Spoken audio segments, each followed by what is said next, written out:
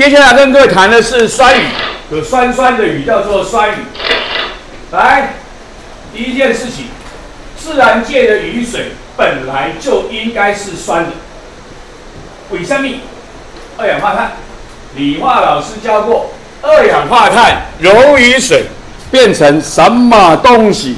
可爱的三十三号，珊珊，你多位耶？一样。理化老师教，二氧化碳溶于水变成什么挖沟？很好，碳酸。所以自然界的雨水本来就应该是酸的，还会形成碳酸。理化老师有教酸性的 pH 值，大于七等于七，小于七，可爱的 eleven，小于七，请坐下。这种问题会不会太简单了？所以，所以这样不叫酸雨，这是自然界本来就这样。我要讲的是，因为我伟大的人类所造成的结果，所以我们要小于五点零，小于五点零的才叫做酸雨。为什么？是因为我们排放出的硫氧化物、氮氧化物形成了硫酸跟硝酸。我教地科，所以我们就青青菜菜的够。我们说有硫氧化物，二氧化硫溶于水叫硫酸。理化老师说二氧化硫溶于水什么东西啊？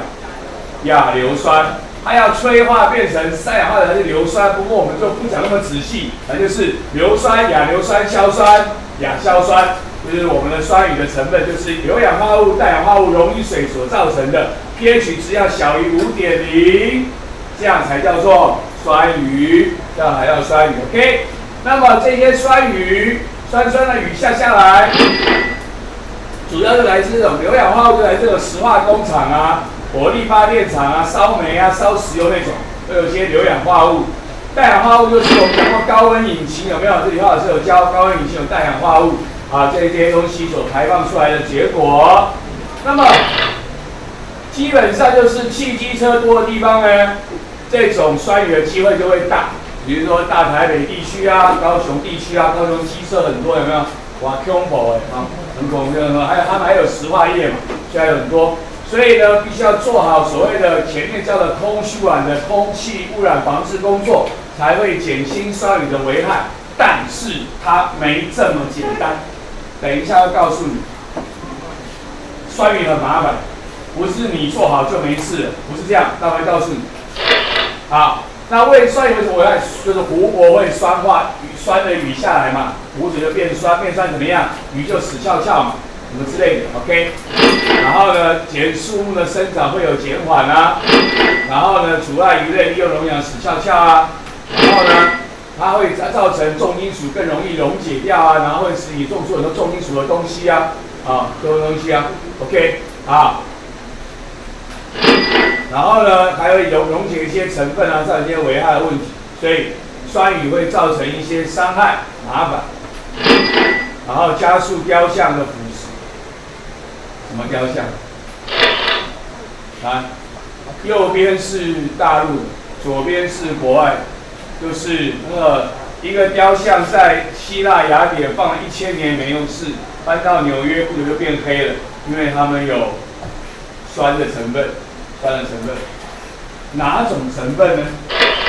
哪种成分会容易受到酸雨的影响呢？